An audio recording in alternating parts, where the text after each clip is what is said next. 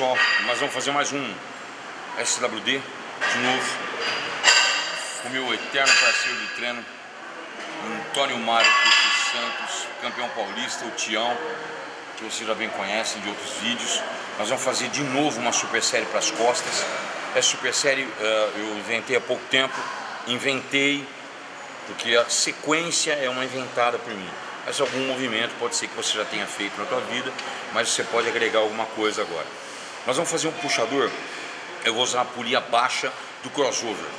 A polia baixa do crossover, ela deixa o movimento uniforme, pesa 20, 20, 20, 20, 20, ou seja, é uniforme a carga, por causa das roldanas e do cabo de aço. Isso é uma lei natural dos cabos e das roldanas.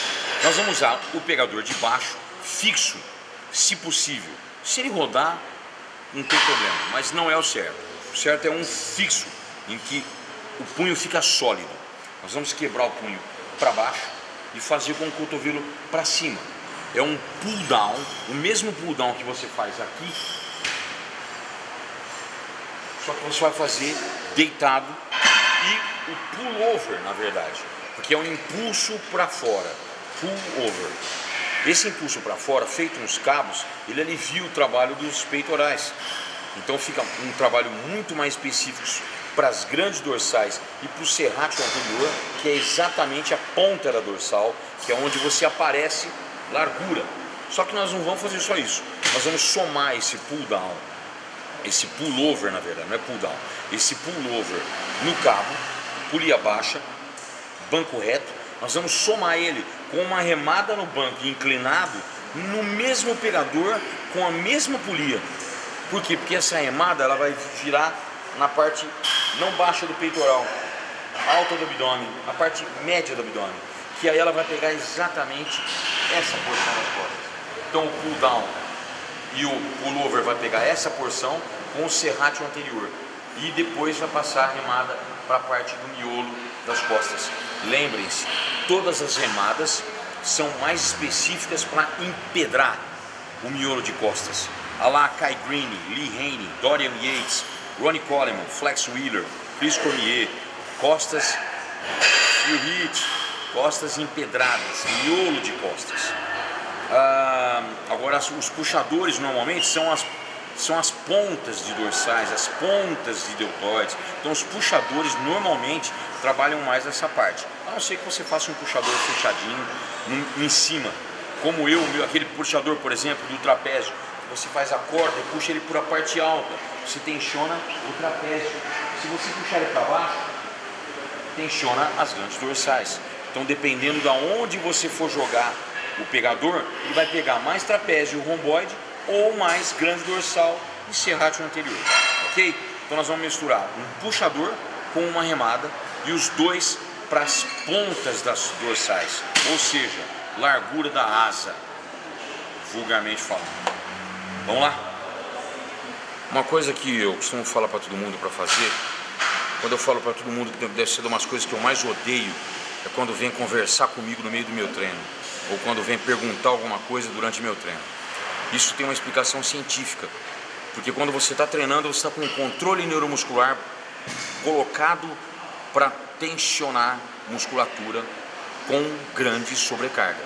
Quando você desfoca disso, você responde alguma pergunta e sai fora dessa linha, não de raciocínio, mas dessa linha de controle neuromuscular. E isso traz um malefício fudido para a tua série.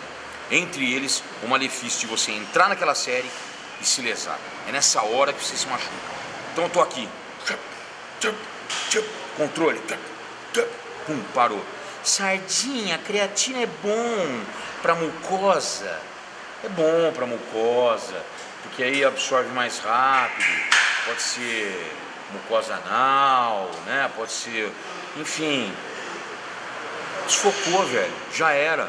Controle. Aí eu vou entrar aqui e fazer com a carga que eu tava com olho de tigre, olho com sangue nos olhos para poder treinar com ela. Então, por isso que eu vivo falando para todo mundo: não conversem durante a pistola do teu treino. Pense que o teu treino tem que ser direcionado, unidirecional. É você contra você mesmo. Não importa se você tem parceiro ou se você está treinando sozinho. Melhor, se você estiver treinando sozinho, não converse nem com você mesmo. Converse com você mesmo na hora que você for começar. Eu tenho um ritual que é comigo, que eu falo toda hora para mim mesmo na hora que eu vou começar, que eu creio em Deus, então eu peço para o Senhor abençoar o meu treino para que me dê segurança, para que não tenha nenhuma lesão, para que aquele treino seja um dos caminhos que eu vou usar para ser campeão. Então eu falo para a hora inteira para mim mesmo: eu vou ser campeão, eu vou ser campeão, eu vou ser campeão, eu vou sair daqui vencedor, eu vou dar um treino melhor do que o último, eu vou me superar e nada vai me impedir de eu me superar. Eu vou ser campeão, vou ser campeão, vou ser campeão. E já estou completamente pronto para o meu treino. Então façam isso, experimentem uma ou duas vezes. Depois que se tornar hábito, vocês vão descobrir que faz uma puta diferença no controle neuromuscular. E eu vou ser campeão.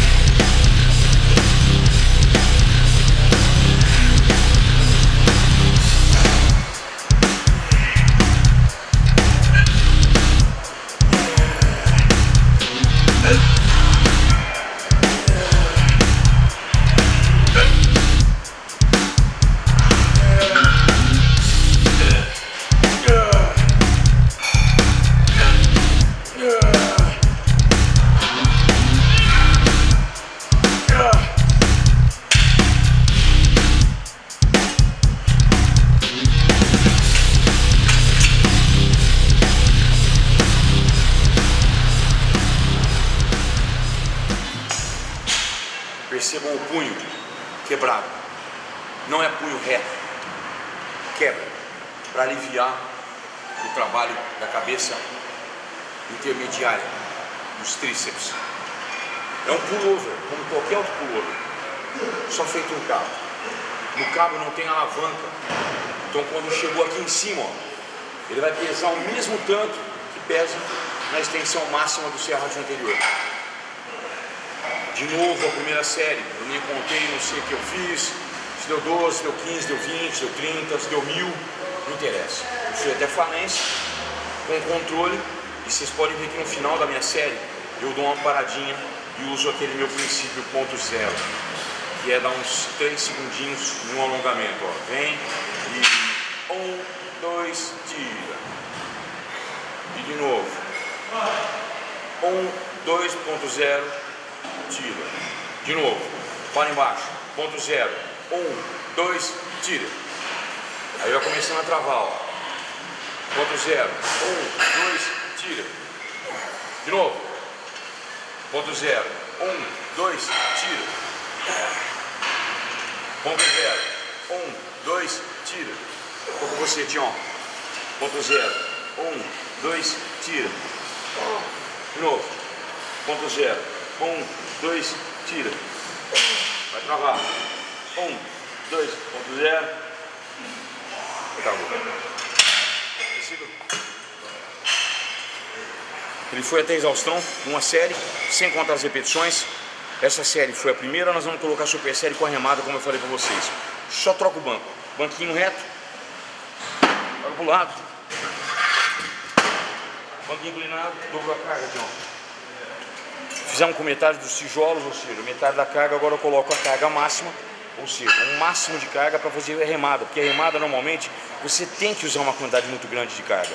Se você observar Kevin Levrone, mesmo os caras do passado, como o Ronnie Coleman, como os caras da atualidade, Kevin, uh, uh, Kai Green, todos eles treinam costas normalmente até um pouco roubadinho demais, não tão perfeito. Por quê? Porque a perfeição para treinar costas às vezes se atrapalha e traz muito trabalho de braquial e bíceps. Então nós vamos fazer um pouquinho de carga. É uma remada na parte média do abdômen para a parte lateral das costas.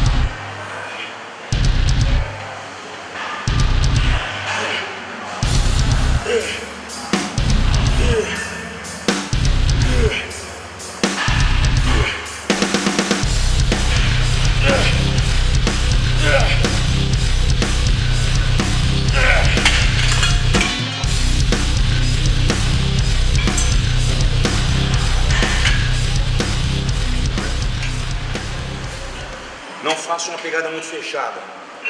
Se pegar fechado, vai pegar mais ainda o bíceps e o braquial.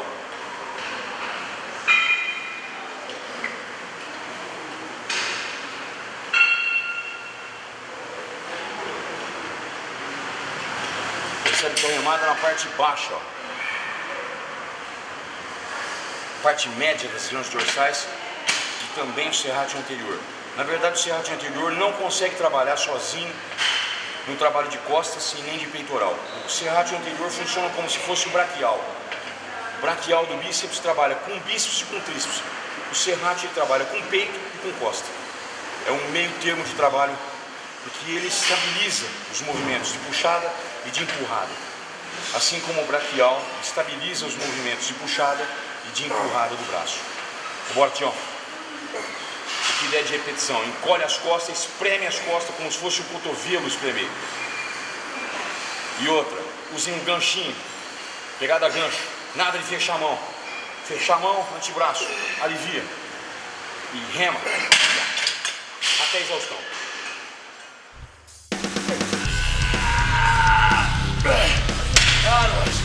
É super sério, eu acho que vocês vão gostar. É uma invençãozinha de, de combinação de um com o outro funciona bastante. Diz aí, Tião, tá sentindo?